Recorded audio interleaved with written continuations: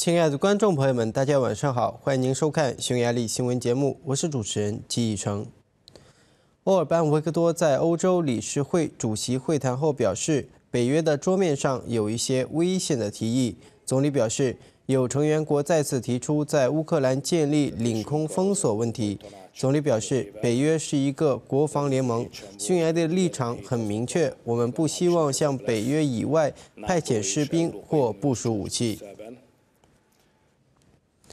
政府已向乌克兰卫生部发送了价值数千万福林的医疗援助。根据人力资源部信息，两辆卡车载有专门用于外科护理的援助物资。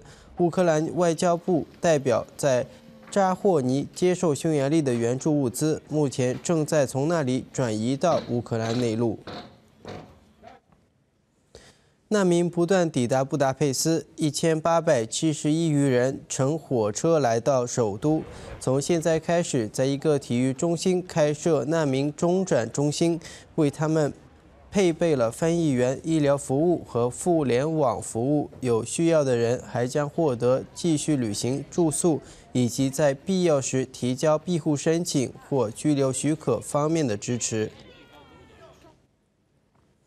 在森林和国家公园进行春季大扫除活动，创新部长在活动上表示：“废物不是垃圾，而是价值。这就是政府推出多项措施回收垃圾的原因。”部长强调，已经为地方政府启动一项一百三十亿福林的计划，以建立垃圾放置区域，并为关键区域提供监控资源。